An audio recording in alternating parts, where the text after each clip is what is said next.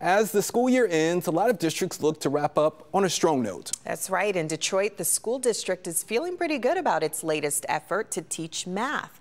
Local 4's Rod Meloni has the story.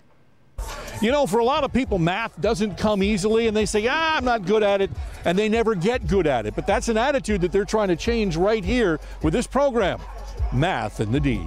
Martin Luther King High hosted students from across the district who appreciate a good math problem if a student built robot can shoot t shirts into the crowd, Cass Tech High junior Jaden Anderson says the DPSCD helped him turn his math attitude around. I just wanted to get it over with, but eventually it became like easier and easier because I wanted to strive for greatness, essentially. Uh-huh. He received an award at the event along with Mumford High junior Janan Jones. He told Local 4 he's become a bit of a math geek because it's the fact that we can answer almost every single question in our universe with math.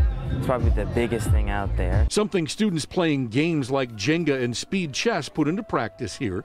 Janan says it's all about precision and practicality. I use math to cooking because I like cooking food. I want to want to bake a cake, I want to bake a pie, or I want to like make cornbread or something. I have to use math and calculations, otherwise it's just going to turn to just mess. The Math in the D Fair allowed students to see real 3D printing, play some video games, and mess around with robotics. This is the culmination of smaller individual school math fairs that are the brainchild of DPSCD teacher Courtney Vermeesh, who says today's students need to take math to the next level. The reality of the situation is that we don't need students to just be able to computate anymore, right? We've got computers and things for that.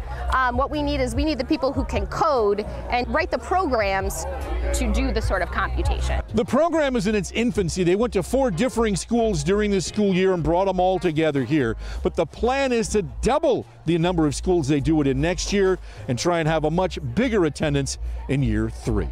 In Detroit, Rod Meloni, Local 4.